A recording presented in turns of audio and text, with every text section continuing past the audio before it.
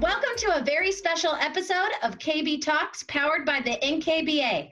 Today, we're going to take a break from our regularly scheduled programming to get to know my new co host, the one and only Karl Champley. If you don't already know Karl, you're about to. And if you do know Karl, well, you can just enjoy the soothing sound of his voice for the next few minutes. But first, here's a quick word from this episode's sponsor.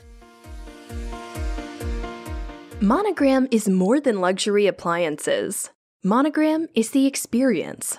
We are inspired by life and the way you live. With high style, superior craftsmanship, and award winning technology, our products raise the bar on what's possible in your kitchen designs. Our industry leading induction cooktops, connected ovens, custom panel refrigerators, Advantium speed cooking ovens, and premium dishwashers blend seamlessly into your dream kitchen projects.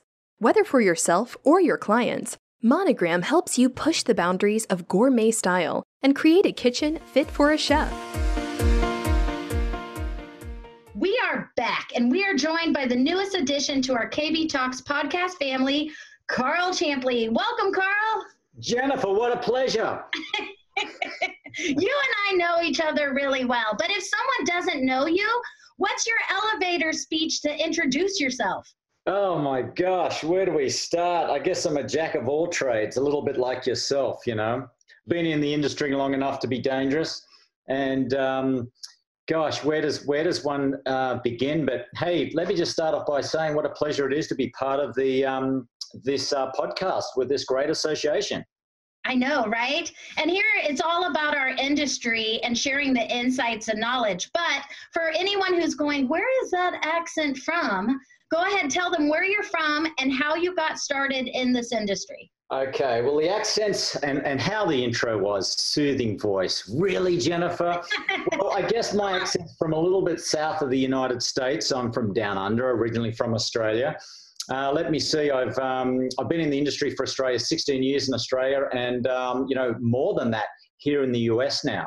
Moved here uh, 20 years ago, so uh, I guess I'm in Los Angeles, California. So I guess I'm classified now as an Angeleno. And the question is, where did it all start? Well, it was a bright sunny day in a suburb of Sydney, Australia. No, it turns out my father was actually a professional street fighter in the underground circuit. And I never forget my mother sat me down and said, Darling, I don't want you to follow the same footsteps as your father. so, um, one thing that I did as an awkward kid was I would pull off the fence pickets and I was always building things. I was always on my all fours. I'm still that way today. And my mum could see that I had the talent, not so much at school, but as far as building things and, and designing things. And basically, I jumped in as an apprentice carpenter and I always thought, what a great route to take because I can get that certificate, I can pursue other things, but I've always got that to fall back on. Well, I got into that. That's a four year apprenticeship in Australia. And well, and explain how like you have to get certified to be a contractor in Australia. It, they take it very seriously. Oh hell yeah! I'm glad you brought that up. It's uh, basically the only trade you can uh, become a contractor, a licensed builder, we call it in Australia, is you. It's the carpentry trade. Um, it's one of the great trades. Plumbing, electrical, they're all fantastic, but the carpentry trade really gives you um, that pathway to become a licensed builder, which is terrific because, as you know, then you've got the mushroom effect and you can create a wonderful business. But it's four years as an apprenticeship. It's then either a five year university degree full time or it's three additional years after the apprenticeship which is on the job during the day and it's also training at college at night. And that's brutal because think about it. At that age, all I wanted to do was go out dancing and whatnot. And you've got to be devoted. So for three solid years, it's working. And I was like six, seven days a week and three nights a week from about five to about 11.30, 12 o'clock at night. And that then gave me my license as a contractor. And then to become a licensed home inspector, you have to do a minimum of 15 years on the job training, which to me makes a lot of sense because I've, I'm certified home inspector over here, a little bit too busy in the design and construction field, but too many people can do an online course. And when you think that's their, that's their biggest asset is their home, and I can't quite understand how people can inspect a home not really understanding what's inside. So, well, and here's the thing. So, like, you also, though, can design as well because I have done a few chats with you out in the public, and you would show images of your work. And one of the kitchens that you got the most notoriety for was how you used every inch possible in a kitchen to utilize space. So, like, you're not just a contractor. Oh, well, thank you, Jennifer. in, in, Australia, after doing the apprenticeship and becoming a licensed contractor, um, I started, well, I spent a couple of years traveling around the world. Coming back, I started my own business. I then incorporated to construction and design, uh, mostly construction. But what happened was, um, my wife and I, we were actually buying and selling places and we we're doing our own small developments. Now, in Sydney, Australia, real estate is super expensive you know, to get a one bedroom apartment without a garage, you need a million bucks, and that's back then. So space is key. So for us to actually go in there, we really had to design it cleverly, um, do a fantastic job, and that was the success. And then selling something, and and even back home, you know, like you look at 20, 25 years ago, people were very well educated and very much into the real estate market. So it had to be done perfectly, or otherwise you weren't going to get your top dollar. So I think because of the space, we had to use every single square inch of space to make it worthwhile. And it's funny, and, uh, and the years later, I come to the US and I end up doing a show called Wasted Spaces. But because of a few projects I did in Australia, I did a, um, a beautiful uh, glasshouse in the Botanical Gardens, and I also did a, a wonderful waterfront property. And I've never, never really been a trained designer, but I've always had the ability to see the end result. So I kind of build backwards. And I've always taken the role of the designer as well.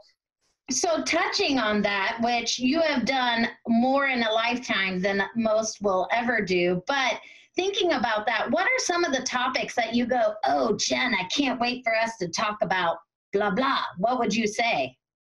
That's a good question.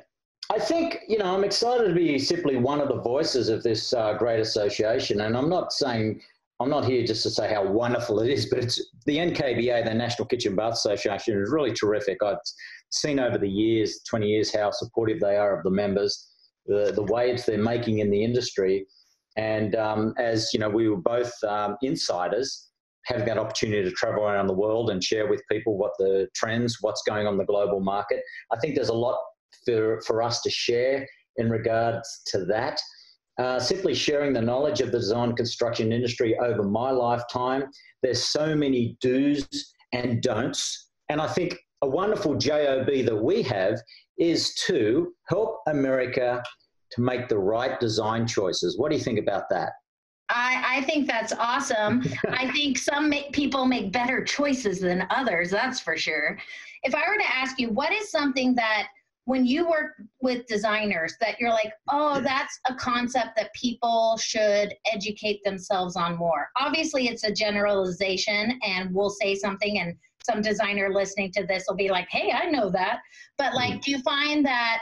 Um, like, like, is it the concept of HVAC, or or what concepts do you find are things that maybe designers could spend more time getting to understand that would help the process more?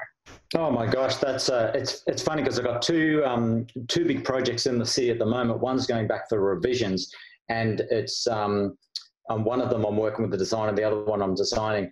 And just like you said, the HVAC design is crucial. There's a project I'll be starting in about four months. It's a it's a big one. It's about 1.5 million dollar um, uh, just a house renovation. Plus, we're putting a new building on the property as well.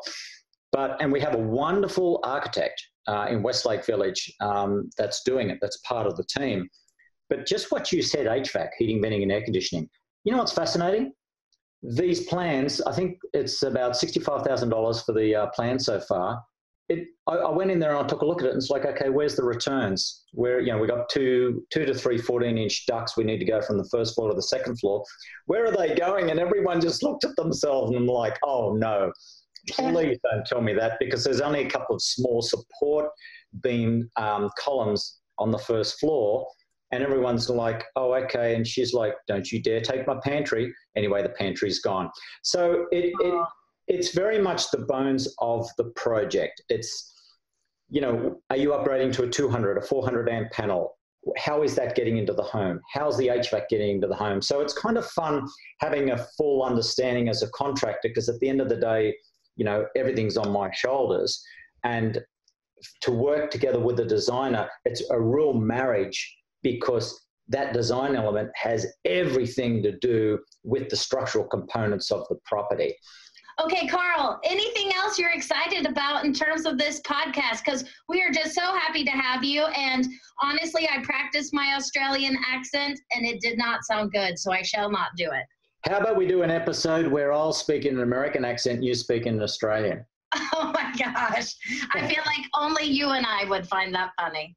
Oh gosh, yeah, I think you're right. I think you're right. But no, listen, I think it's just um, it's an absolute pleasure to be on board with such a professional like yourself, Jennifer. And I and I'm not just saying that to be nice. Um, with you and a lot of the other girls and guys I've met over the years, you're you know you're all very nice. And then I actually see the work that you do, and I'm like, wow, okay, there's something about this association that it's like a magnet that brings this amazing talent to the table.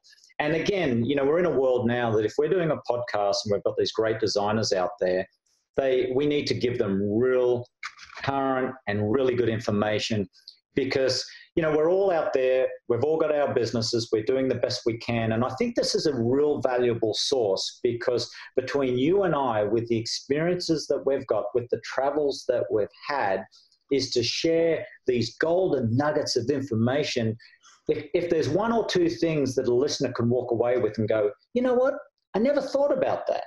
I think that's really valuable. And, and again, that's what I actually enjoy doing, and I know you do as well. Yeah, I agree. I think no fluff, just real, authentic knowledge that can be shared because anyone listening to this in, in our industry is so busy that it's very valuable time. So let's improve everyone's brain box and knowledge base. Well, Karl, thank you for the, taking the time from a job site to stop and chat. Um, all of you out there, as always, you can expect new KB Talks episodes powered by the NKBA coming up soon. Remember to send your feedback to nkba at flyingcamel.com. So give us some topics. You've heard Karl now. I bet your brains are going and going, oh, I've got a topic idea. So send that to nkba at flyingcamel.com. Also, it would mean so much if you could take the time to give KB Talks a star rating or review wherever you listen to podcasts. This will help us grow and reach even more listeners. Now stay tuned for a quick NKBA Minute. Hi, my name is Molly Barr, and I'm a senior designer with Click Studios. I'm also a former NKBA 30 Under 30 with the 2014 program. You know, I never thought I'd know so many industry professionals across the nation and in Canada until I got the honor to be a part of this program. It has given me so much more than just a great resume booster, but a group of people that I can always bounce ideas off of and collaborate with. We just got together in Napa a couple weeks back and got to see some great new products by Signature Kitchen Suite and enjoy a bit of wine and network with some old friends and make some new ones. We're always a growing family. Besides, who doesn't like a bit of wine and sightseeing? So if you're committed to the kitchen and bath industry under 30 and looking to get more involved, I encourage you to consider the NKBA 30 under 30 program. Visit nkba.org for more information.